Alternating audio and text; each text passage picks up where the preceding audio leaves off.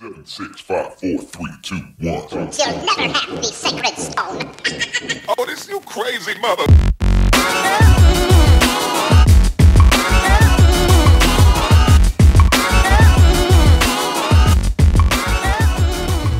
Ok, um, ehm, velkommen til en helt ny video. I dag er jeg så dum, og fjern, at eh, jeg har tenkt å farge håret mitt rosa. Dette er ikke en permanent farge, dette er en washout. Tinder, ass.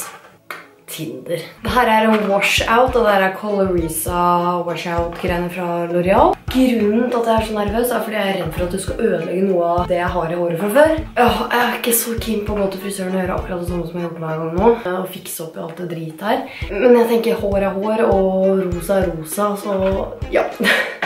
Dette er egentlig bare sjukt teit av meg å gjøre, men jeg gjør det for det.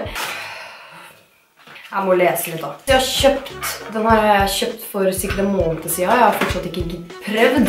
Den har jeg ikke prøvd, jeg har ikke pult. Um, ja, så egentlig, jeg har sett på masse YouTube-videoer av folk farger håret sitt, og jeg har veldig lyst til å prøve det. Jeg tror vi skal gjøre det. Det er sånn at den varer en uke eller noe sånt. Så, ja, en uke, og det er sånn pastellrosa. Så det skal bli sånn her da, liksom. Men jeg vet ikke hvordan det kommer til å fungere med mitt gråe hår. Jeg har ikke brukt lilla shampoo på en stund. Det burde ikke være noe lilla shampoo i håret mitt nå. Dette er bare den fargen jeg har etter jeg har vært hos frisøren på en måte. Så ja, jeg tenker at vi bare kjører i gang og prøver. Sånn, ok. Så jeg tenker at vi eh, setter opp håret her. Jeg burde egentlig kanskje hatt på meg en annen hettejakke. Jeg tror jeg henter en annen hettejakke. Jeg har tatt på meg kappegenseren min, som jeg kjøpte for fire år siden, tror jeg. Jeg er kjempenervøs, men eh, klokka er halv elleve på en søndagskveld. Så jeg tenker at vi bare kjører på med hele dritten, altså. Som dere ser nå, så er håret mitt ganske bare blondt under her. Åh, shit. Hashtag pink hair. Handska. Herregud. Jeg har lenge tenkt på å ha sånn pastellrosa hår, men har ikke turt. Jeg vet ikke om jeg det, men... Ok, jeg tenker vi bare kjører på.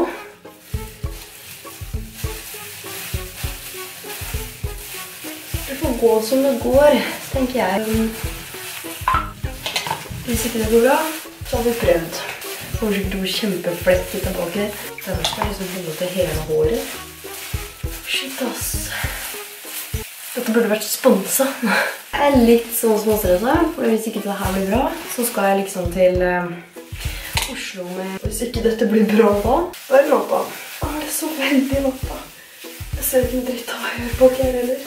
Så kjør på. Shit, ass. Jeg skal sitte på i 15 minutter. Jeg tror ikke jeg tør å ta det mer enn 15 minutter. Men det her blir dritstygt. Hva gjør jeg? Ja, jeg gjør ikke noe annet enn å vaske det ut, fordi det skal, det skal kunne vaskes først.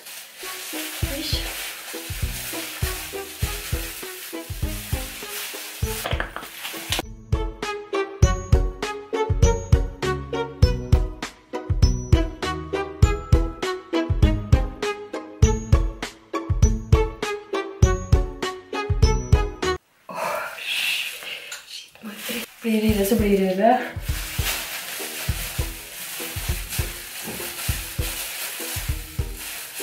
Jeg har aldri farget håret mitt selv. Jeg stoler ikke på meg selv. Tenk om det her er permanent. Hva gjør du? Skal alt å vinne? Sånn, så nå har jeg tatt i hele håret. Um, nå ser det sånn her ut. Så nå skal jeg skylle det her ut om 15 minutter, og så rundt klokka 11. Så vi får se hvordan det blir. Um, jeg er spent, jeg er dritspent. Nå har det stått i sånn type... Herregud, det har stått i sånn type sånn 20 minutter. Ja, så nå tenkte jeg at jeg skyller, og så ser vi når jeg har skylt ut. Kjenner at du dusja det ut. Det er ikke så godt nå, for jeg har fått men jeg må bare...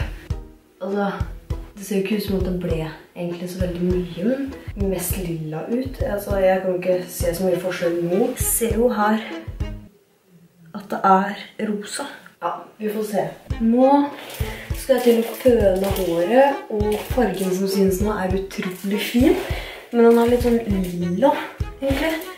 Fordi jeg tror da fordi jeg hadde grått hår og lilla sjampo ble litt sånn lilla-ish, men selve fargen ser utrolig kul ut. Dere ser sånn her. Så nå skal jeg føne håret, og så skal vi se hvordan det blir.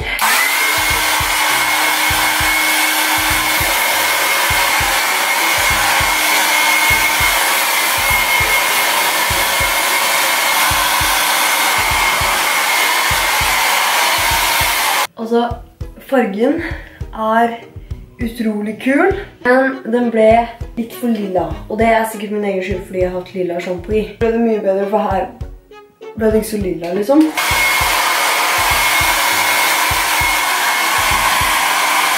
Her ble det, altså jeg ser egentlig ikke sånn kjempestor forskjell, for jeg er så vant til å ha lilla hår. Det er sikkert, det er kanskje litt lyset også at det ser så lilla ut, men ja, jeg er egentlig veldig, veldig, veldig fornøyd. Om jeg ikke hadde hatt grått hår før, så tror jeg at eh, det hadde blitt mer rosa-rosa, men jeg, jeg føler liksom jeg har hatt sånn her farge på håret før. Men rosa, that's how it is. Pink hair, don't care. Så jeg håper i hvert dere likte den. Oi, fytti grisen. Jeg håper i hvert dere likte denne vloggen, og at eh, ja, jeg vet jo ikke om det her er noe safe greier at det går ut sånn som det skal gå ut, for jeg har ikke prøvd det før. Men det er i hvert gøy å teste ut. Det kan hende jeg bruker, for jeg har jo mer farge igjen, så kan hende jeg bruker den mer en annen gang og tar fargen litt lenger eller et eller annet. Um, så ja, tusen takk for at du så på denne videoen, og så snakkes vi i min neste video. Ha det bra!